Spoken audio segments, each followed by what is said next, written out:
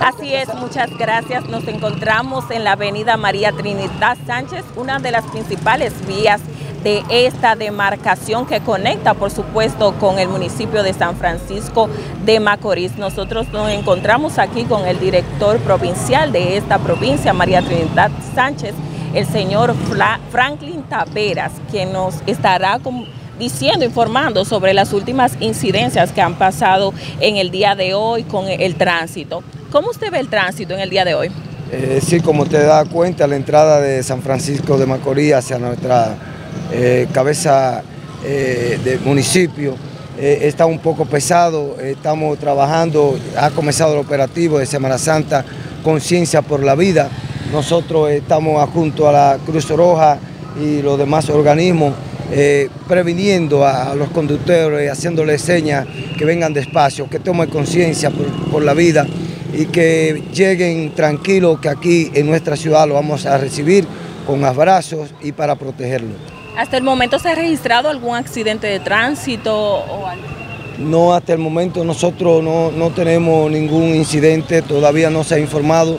Nosotros, la Defensa Civil, junto a la gobernadora provincial como presidenta de la Comisión de Prevención, Mitigación y Respuesta, eh, estamos coordinados con todos los cuerpos de socorro y en estos momentos no ha sucedido nada y no hay ningún tipo de información.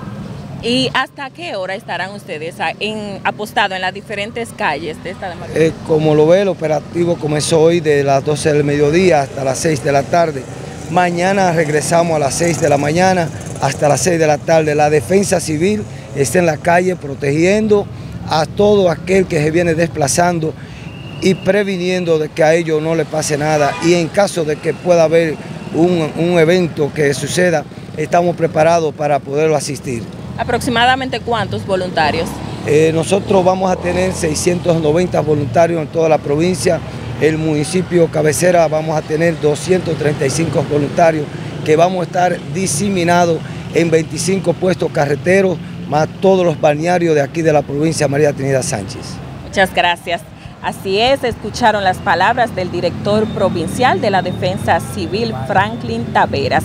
Ahí, como podemos observar, está todo el equipo voluntario de la Defensa Civil, la Cruz Roja, la Policía Nacional, Municipal y otros organismos de socorro que estarán apostados en esta avenida y otras entradas y salidas principales de esta provincia María Trinidad Sánchez. Así que nosotros estaremos aquí informándoles a todos ustedes sobre todas las incidencias que pasen en esta provincia María Trinidad Sánchez en esta emisión especial de Telenor Semana Santa 2023, formación e información para toda la nación.